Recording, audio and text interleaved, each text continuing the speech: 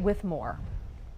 That service member stood out here in the cold from dusk till dawn, guarding the flags. Beneath the flags, standing under the light of the memorial, stands a Lance Corporal. The Lance Corporal, we didn't ask him to come out here. He came out here on his own. He stood for hours until the sun came up. He was here to protect this place of honor.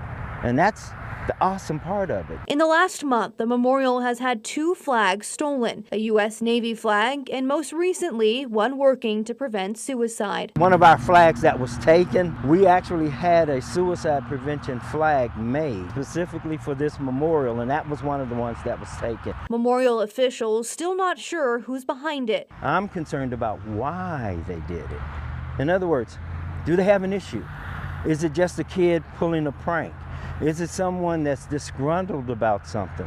If I don't know what it is, it's going to continue. But they're hoping they come forward, and if they do, it'll be an opportunity to talk. We're giving them an opportunity now. If they hear this, you're looking for attention, you got it. Come on out, let's talk, let's find out what the deal is, let's see if we can resolve it. In the meantime, veterans spend some time hammering out the final preps on decorations ahead of the Veterans Day parade adding some extra sparkle for those who come to visit. The United States, it wouldn't be here without the men and the women that defend the freedoms that we have. Shelby Montgomery, KOCO 5 News.